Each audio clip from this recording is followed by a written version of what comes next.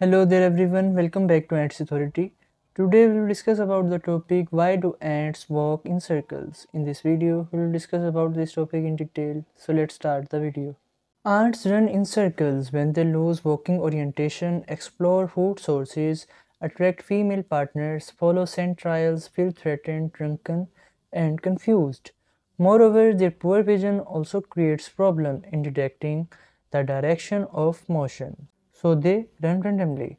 Circling behavior is common to insects as these tiny creatures rely on sense for movement due to smaller eyes and poor eyesight that can only help differentiate between light and dark.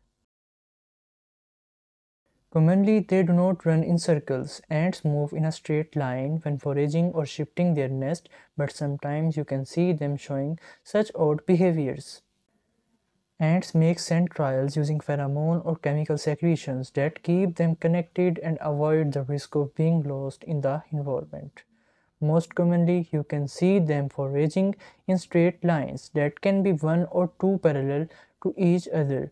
One line is directed toward the food source while the other moves away from it. Accordingly, the ants running in circles can be following the scent left by one of their fellows which leads to the formation of bigger circles or ant mills. Their sense of smell helps them detect secretions on the ground with the help of antennae and follow the path of leading insect.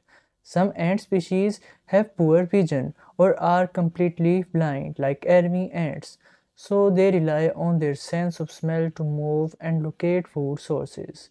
They begin to run in a direction where they detect the scent of pheromones without seeing whether it is safe or not. Accordingly, they are at risk of becoming a part of the death cycle. Moreover, the follower insect also spin in a circular motion if the leading insect loses its way and finds a circular path in its way created by prominent scents. The workers or foragers in a colony suffer from severe threats because they leave their nest frequently and go out to navigate their territories for food. Moreover, the larger ants can attack their tiny bodies, resulting in a chaos-like situation for other foragers, part of the foraging trial. All of the trial members begin to move randomly in circles when they feel a threat in their surroundings, as it can be their defensive strategy to deter predators away from the circle.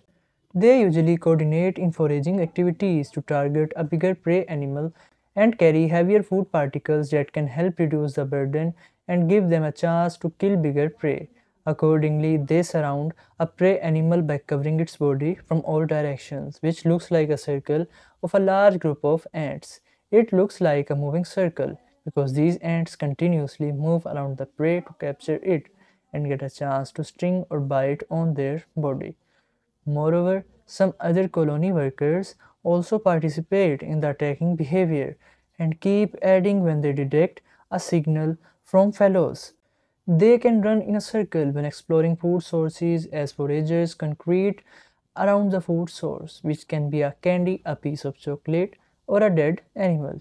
It looks like they are spinning while finding way to reach the particle in the center. Other ants keep coming to a specific area and move round and round to get a chance to eat it. Moreover, this behavior of running in circles relates to the exploration of food sources when a large number of foragers surround the food particle and revolve around it. Thanks for watching the video.